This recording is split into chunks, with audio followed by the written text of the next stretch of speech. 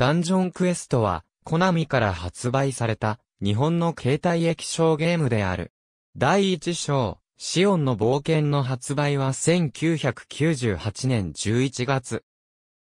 ダンジョンクエストは、たまごっちに代表される、キーチェーンゲームの一種である。手のひらに収まる、小サイズの筐体に、短いチェーンと、フック型のロック金具を備える。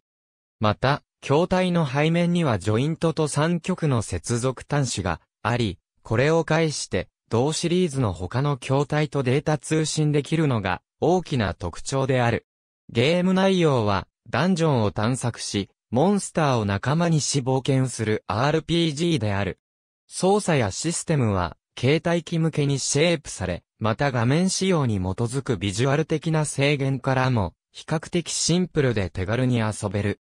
一方、ゲームオーバーイコール最初から、やり直しというローグライク本来のこびないシビアな、ルールや、使う、装備するまで、正体のわからないアイテムと、その解明、敵モンスターごとに設定された能力や、行動パターンへの対応など、携帯ゲームでありながらもしっかりと手応え歯応えのある、プレイが楽しめる。全部で6つの章に分かれており、6種類のバージョンとして、それぞれ次々に発売されていった。各、バージョンごとに違う人物を、主人公とし、全く違う物語や冒険が展開されており、ゲームシステムも一部変更、追加されている。筐体下部にある7つのボタンで操作する。